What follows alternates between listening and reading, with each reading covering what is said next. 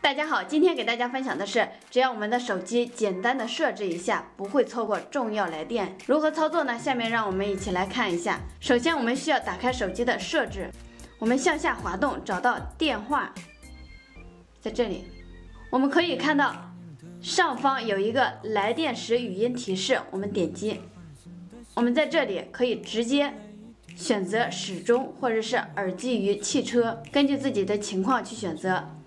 在这里，我选择始终。我们来测试一下。灵动生活。